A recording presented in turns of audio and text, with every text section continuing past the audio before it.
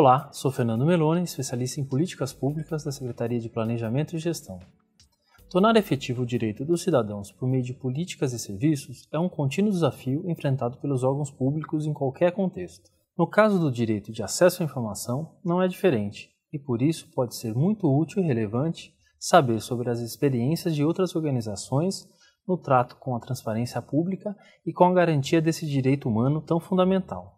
Com o objetivo de ilustrar o que vem ocorrendo em matéria de transparência em outras partes do mundo, e para conhecermos mais sobre as mudanças positivas que vão sendo impulsionadas pela cultura de transparência, pelo uso de dados públicos governamentais e acesso a informações, é que vamos enfocar na aula de hoje alguns exemplos de situações internacionais com suas diferentes trajetórias e desenhos de políticas públicas. Mesmo sem pensar que se pode reproduzir automaticamente ações e políticas exitosas de outros países, podemos perceber que tais experiências influenciaram de alguma forma o processo de construção da transparência no Brasil, que é tema da próxima aula. Assim será possível refletir melhor sobre o que ocorre no contexto brasileiro a partir dos casos concretos vivenciados em outras partes, com suas diferenças e semelhanças de acordo com cada aspecto analisado. Como procuramos abordar anteriormente, o direito de acesso à informação vai sendo reconhecido amplamente como um direito humano somente algumas décadas após a Declaração Universal dos Direitos Humanos em 1948. Durante esse processo, isto é, no meados do século XX até os dias de hoje, foi significativo que diversos países passassem a criar legislações próprias sobre o direito de acesso à informação, por meio de leis nacionais ou da adoção desse princípio no texto constitucional impulsionadas pelos pactos, declarações e jurisprudência internacional, por um lado, e pela globalização, novas tecnologias de informação e pelo forte desejo de participação da sociedade, por outro, nos anos 90, o mundo observou uma rápida expansão das leis de acesso à informação em todos os continentes. Para se ter uma ideia, em 1990, apenas 13 nações possuíam uma lei de acesso à informação, mas esse número passa para 70 países em 2008 e para 102 em 2015, tal como vemos no mapa elaborado pela Informação de Acesso à Europa e pelo Centro de Direito e Democracia, CLD, que estabelece ranking de leis de acesso no mundo. Temos, portanto, mais de 5 bilhões de cidadãos no mundo com o direito de saber o que os governos fazem e o que os governos sabem. Vamos traçar agora um breve panorama do acesso à informação em algum desses países apontados no mapa. Para começar, vale destacar a primeira nação do mundo a desenvolver um marco legal sobre o acesso à informação, a Suécia, já em 1766. Isso é muito marcante porque foram precisos quase 200 anos para que surgisse no mundo outra lei que tratasse do acesso a informações, o que ocorreu na Finlândia em 1951. A lei sueca tem regras bastante progressistas e determina que todas as disposições sobre sigilo sejam apresentadas de maneira centralizada em norma legal específica. Também se colocam no marco sueco fortes garantias ao cidadão quanto aos procedimentos e cumprimento da lei, incluindo a obrigação imposta aos órgãos públicos de criar um cadastro público de todos os documentos que estão em sua posse. Passados dois séculos, a cultura de transparência e de abertura de dados e documentos é extremamente forte e arraigada na Suécia. E vale destacar que a transparência na Suécia sempre esteve associada à preocupação dos políticos e dos partidos com o bom funcionamento da democracia, porque havia o entendimento de que o acesso a informações públicas ajudaria a promover condições de maior igualdade entre os grupos políticos, mesmo quando eles não estivessem no poder. Por ser pioneira, a legislação sobre o acesso na Suécia apresenta algumas limitações frente às disposições encontradas em leis de direito à informação mais recentes, tais como a obrigação para divulgar proativamente informações e a possibilidade de recursos administrativos independentes, entre outros. Outro país que possui uma experiência importante com relação à consolidação do direito de acesso a informações é os Estados Unidos da América, embora também 200 anos depois da Suécia.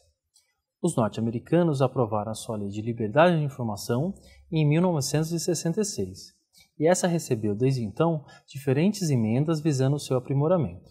Pode-se dizer que o país é uma referência com relação ao direito de acesso, e uma cultura significativa de abertura no governo vem sendo alimentada, não apenas pela Lei de Liberdade de Informação, mas também pela ação de ativistas e por outras leis específicas sobre o acesso a informações pessoais mantidas por autoridades públicas, governo eletrônico e dados abertos, tal como vemos na figura a seguir. Ressalta-se que a legislação americana incorpora disposições acerca de taxas, pois cada órgão define suas taxas e critérios de isenção e redução segundo diretrizes centrais, uso comercial, não comercial, pessoal, etc. Além disso, existem regras rígidas sobre o fornecimento eletrônico de informações e um grande acervo de medidas de promoção de transparência. Se prevê ainda que cada agência de governo exista um responsável pela aplicação da lei. No entanto, a abrangência da norma federal é limitada e se concentra sobre o Poder Executivo. Com isso, as 50 unidades da federação do país têm suas próprias leis de acesso.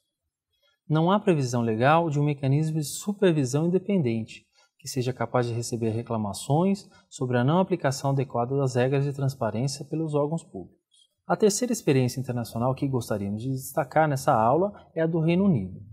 Trata-se de um caso exemplar, porque lá se conseguiu passar de uma cultura de sigilo muito arraigada para um regime de transparência e acesso à informação, com intensa participação do governo na aplicação da lei de acesso e na divulgação de dados. A incorporação do direito de acesso no Reino Unido se deu de maneira tardia com relação a países como Austrália, Canadá e Nova Zelândia, que aprovaram leis de direito à informação no início da década de 80,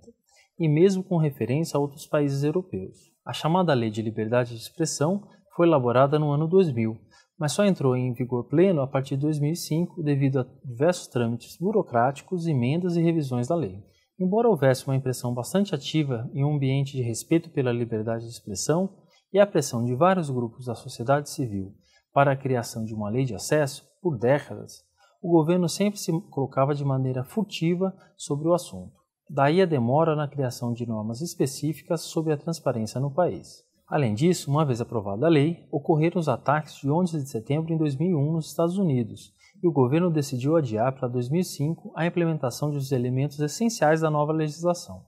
São aspectos positivos da experiência britânica na regulamentação do direito de acesso, as garantias processuais, sua ampla aplicação e uma série de medidas de promoção da transparência ativa que foram inovadoras. Por exemplo, a lei introduziu a ideia de progressividade na publicação de informações governamentais, com mecanismos de comunicação e de interligações entre os órgãos públicos que facilitam o acesso à informação por parte dos cidadãos. Ademais, os meios eletrônicos e as práticas colaborativas entre governo e sociedade são características que vêm sendo bastante estimuladas no país. Outra legislação complementar, envolvendo o acesso a informações na área ambiental, também merece destaque, pois a partir daí definiu-se que empresas estatais necessitam publicar relatórios de sustentabilidade para informar a todos a respeito da progressão de dados sobre impactos socioambientais e questões relativas a gênero e raça nesses órgãos. Porém, no Reino Unido, o acesso à informação ainda é comprometido por um grande número de exceções previstas em lei, e mesmo algumas delas são consideradas imunes à supremacia do interesse público, o que é bastante empobrecedor. Já na América Latina, o nosso principal exemplo e inspiração vem da experiência mexicana, com relação ao direito de acesso à informação. Em 2002, o país passa por importantes reformas no sentido de assegurar a transparência pública, impulsionada por vários partidos e movimentos sociais, na tentativa de combater a corrupção e superar o grave contexto de abuso de poder e violação de direitos humanos. Neste ano, é aprovada uma lei específica sobre o acesso a informações e os 31 estados mexicanos também criam regulamentos próprios sobre o tema. O México se destaca pelas fortes garantias ao cidadão no âmbito dos procedimentos de acesso definidos por lei. Com enfoque inovador, se assegura a aplicação da lei em todos os órgãos públicos, independentemente do status constitucional, e se proíbe que as informações necessárias a investigações sobre violações graves dos direitos humanos ou crimes contra a humanidade sejam tornadas confidenciais. A lei mexicana também estabelece um fortíssimo mecanismo de supervisão independente da aplicação do direito de acesso à informação,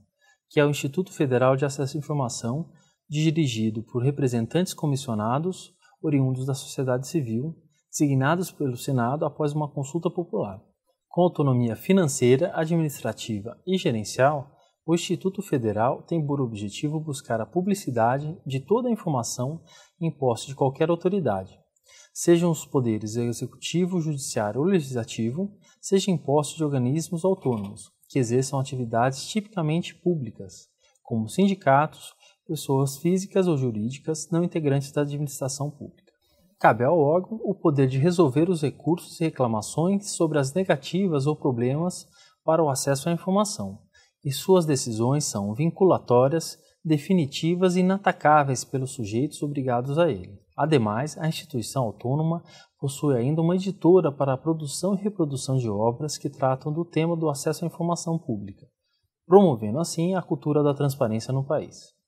A partir desses exemplos e do panorama da criação de leis de acesso no mundo, queremos ressaltar ainda o papel transformador da participação dos cidadãos na gestão dos governos e suas políticas públicas, a partir do acesso a informações e da disponibilização de dados públicos, especialmente quando isso ocorre em formatos abertos, que permite a reutilização e manipulação livre dos usuários. No Canadá, a partir da utilização de dados abertos, foi possível expor um esquema de fraudes relacionadas à isenção de impostos sobre doações de instituições de caridade, que movimentava em torno de 32 bilhões em impostos devidos. Em um caso semelhante, na Uganda, a divulgação de dados sobre recursos públicos na área de educação, já nos anos 90, permitiu um grande aumento do controle social, e isso se refletiu diretamente na redução da corrupção. As escolas do país passaram então a receber quase todos os recursos a elas destinados, quando anteriormente ficavam nem mesmo com 20% dos recursos federais previstos. O uso de dados públicos e as novas formas de interação do Estado com a sociedade também trazem inovações significativas no cotidiano e na qualidade dos serviços públicos. Na França foi criado o Banco Nacional de Endereços, que é alimentado por autoridades, agentes públicos e sociedade civil, essa plataforma vem simplificando toda uma série de processos e formalizações burocráticas que depende da análise dos conselhos municipais e vem facilitando à sociedade a utilização e desenvolvimento de serviços geolocalizados. Ainda como ilustração, podemos mencionar o processo de abertura de dados públicos no Reino Unido, que ao publicizar informações referentes às 300 mil paradas de ônibus no OpenStreetMap, tornou possível a contribuição das pessoas na confirmação e correção de dados sobre 18 mil paradas de ônibus, melhorando o transporte público do país. Em outra área importante, na saúde, a grande densidade de informações, em especial sobre serviços e resultados, tem permitido a todos acompanhar muitos dados sobre o desempenho de médicos e companhias do setor, o que empodera muito as escolhas dos indivíduos. Neste caso, é importante apontar ainda que a utilização das informações pelos usuários e profissionais de saúde sobre o desempenho dos serviços também fomentou melhorias dos próprios procedimentos de saúde, com reduções efetivas no número de problemas encontrados. Outro aspecto positivo da experiência britânica em termos de participação social foi que a abertura de diálogo sobre as informações públicas vem permitindo que as pessoas passassem a se ajudar e esclarecer dúvidas umas das outras com relação aos dados de governo, garantindo um acesso às informações mais completo e efetivo. Esperamos que na aula de hoje tenha ficado mais evidente como o acesso a informações vem transformando os estados, os serviços públicos e a vida das pessoas em diversas partes do mundo. E que, por isso mesmo, os esforços para garantir a transparência pública e o acesso a informações no Brasil não são um evento isolado. A propósito, enfocaremos na próxima aula como toda essa temática foi sendo elaborada na legislação brasileira, desde a Constituição até a criação da Lei de Acesso à Informação. Obrigado e até a próxima aula.